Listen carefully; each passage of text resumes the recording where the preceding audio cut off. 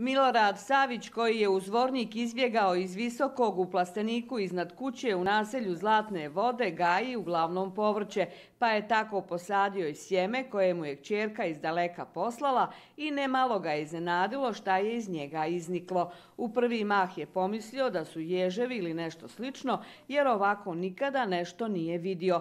Krastavac sa bodljama koji je uz dosta usručavanja probao. Mi nismo znali šta je. Ja kad sam ušao unutra, ja mislio ježevi, nešto, ja lijepo ustuknu. Šta je ovo? Nisam nikad vidio. I kad ste probali? Krastavac obični. Uh -huh. Je li teško ga gulti malo? Jes, jes, ne može. Bode. A kakav je ukus mu? Malo kisi, ali možda, možda nije bilo mu vrijeme ni za brata, ja znam. Ne. Sama čerka kaže da je to gdje je u Austriji, Njemačkoj, da je to puno koljakovito za nešto, za neke bolesti, ne daj Bože. Ali ako to bude neki bum na tržištu, može se obogatiti. Eto, to potreba, jok. Preko interneta smo saznali da se radi o kivanu, afričkom bodljikavom krastavcu ili dini, kako ga ko zove, koji sazrijeva kada postane žuto naranđaste boje i jako je zdrav i ukusan.